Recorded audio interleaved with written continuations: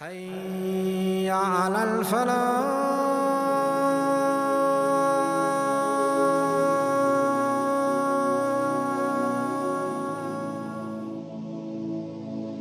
What choice will you make? What path will you choose? Will you choose the Ashab al-Yameen, the path of those on the right? Or will you choose the Ashab al-Shimal, The path of those on the left? Will you be from the sons of the dunya that give preference to the dunya over the akhirah? Or my young friend, will you be the sons of the akhirah? You give preference to Allah and His Rasul sallallahu and you give preference to the real life over this life. Simple question, what path will you choose?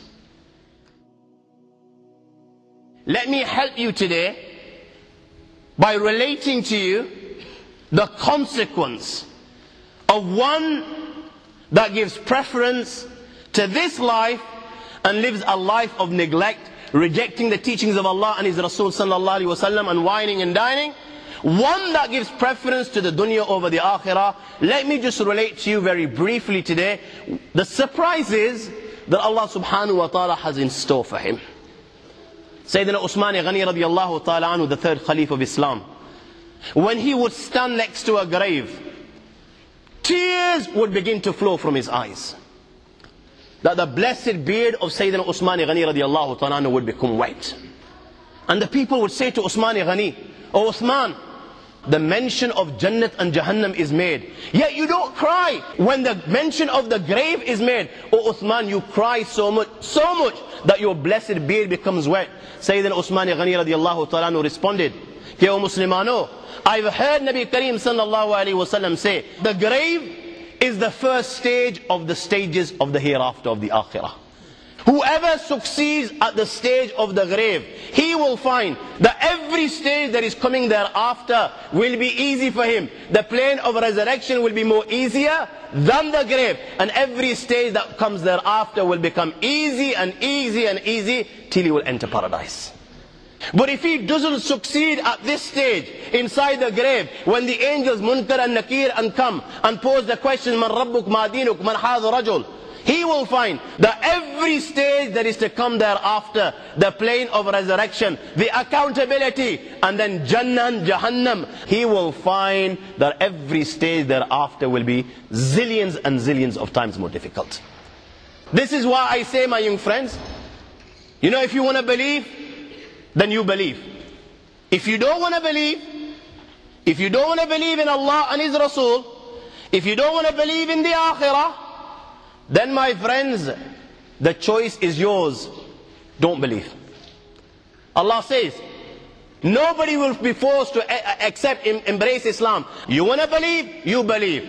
You don't want to believe? Don't believe. You want to give preference to the dunya over the akhirah and you want to enjoy this life, you know, the 50 years that you might get, the 60 years that you might get, and if you're lucky, you get a hundred years, you want to enjoy this?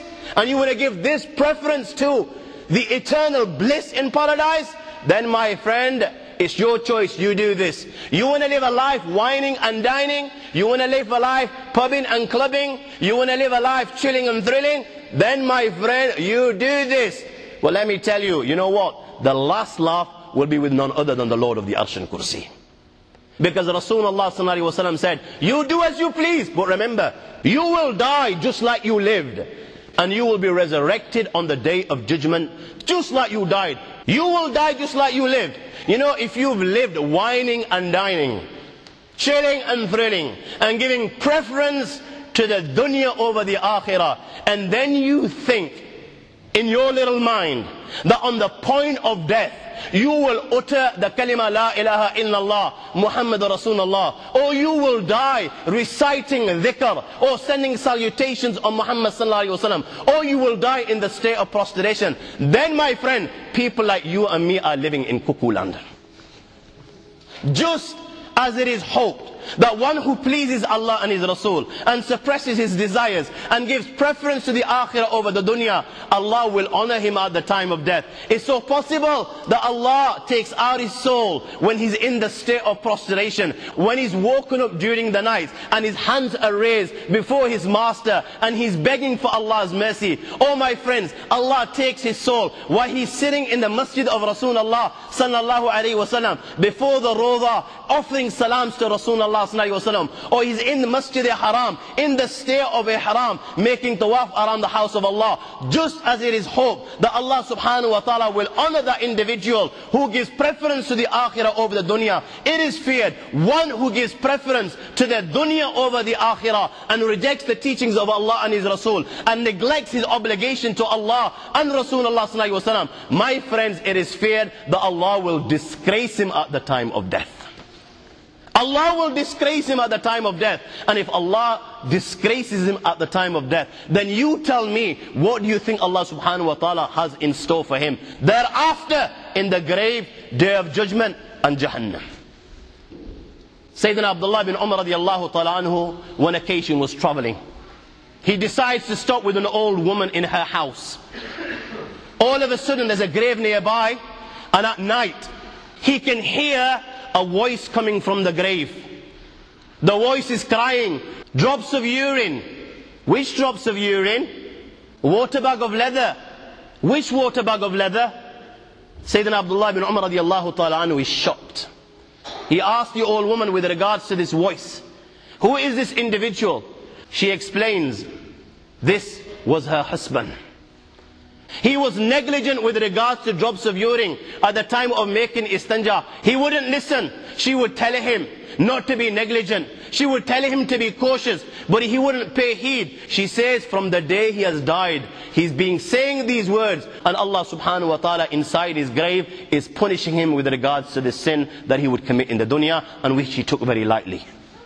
She explained that one occasion, a man dying of thirst came knocking our door begging for some water. So he pointed to a, a water bag of leather. He was taking the mick. So he pointed to a, a water bag of leather saying that this water bag is full of water, take it, drink it. So this person, when he took the water bag of leather and realizing there was no water, he collapsed on the spot and he died. She says, from that day onwards, when he died, Every night, this is what I hear from the grave. He's crying inside the grave, and this is what we hear. Drops of urine, which drops of urine? Water bag of leather, which water bag of leather? Sayyidina Abdullah bin Umar radiallahu ta'ala when he related, uh, returned to Medina to Manawwara.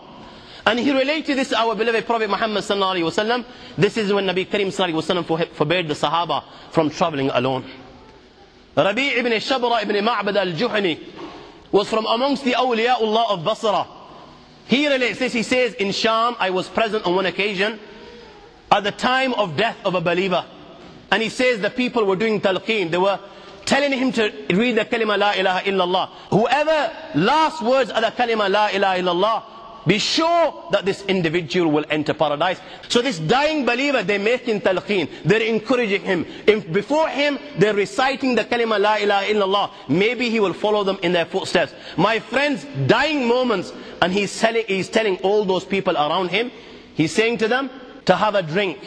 Take some alcohol. Have a glass of wine. And he's saying to them, give me a glass of wine to drink.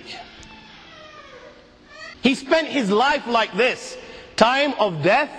What he was used to, like Rasulullah said, you will die just like you lived and you will be resurrected on the day of judgment just like you died. And on his deathbed he's asking for intoxicants.